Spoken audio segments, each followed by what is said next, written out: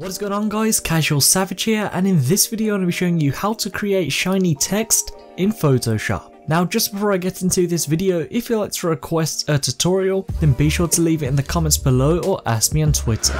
So as you can see I have Photoshop opened up with a very light background on it and the first thing I'm going to do is head over to the text tool and let's just drag out a box, make this black and I'm just going to put Casual Savage. Of course, Control A and choose your text. I'm going to stay with the text I'm using now, which is called Geomanist, and I'm just going to position this in the center like so. So the first thing we're going to do is head over to the Effects tab, and we're going to add a gradient overlay.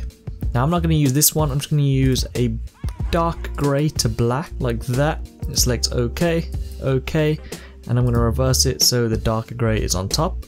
Now the next thing I'm going to do is create a new layer, and now it's completely optional.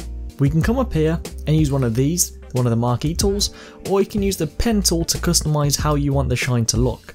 But for this tutorial I'm going to be using the elliptical. And I'm just going to drag it out like so. And just actually going to redo that here so there we go. So it's like that. I'm going to right click it, I'm going to select fill, make sure it's on color, okay, and it's white. The next thing I'm going to do is come over to the side here and we need to rasterize our text. So we're going to right click it, select rasterize type, right click rasterize layer style. Then we're going to come to the white layer we just created. We're going to right click it and select create clipping mask.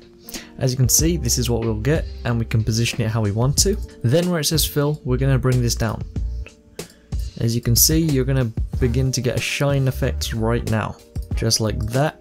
And it's optional where you mess with it. This is at 5% now and as you can see we can also bring it down so it loops under like that. Then you can actually add a gradient on this as well. So we're going to come to the magic wand tool, we're going to select it so we get the selection we made earlier. We're going to press delete on our keyboard.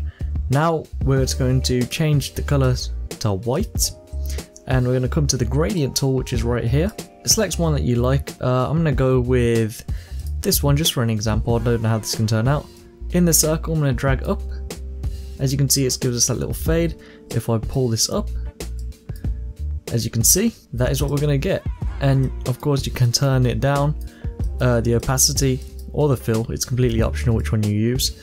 And as you can see, that is how you do it. Just like that, you can create shiny text in Photoshop. Anyway, that's it for this video. I hope this tutorial has helped you and like I mentioned at the start, if you'd like to request a tutorial, then be sure to leave it in the comments below or ask me on Twitter. Thank you so much for watching, please subscribe, rate, and peace.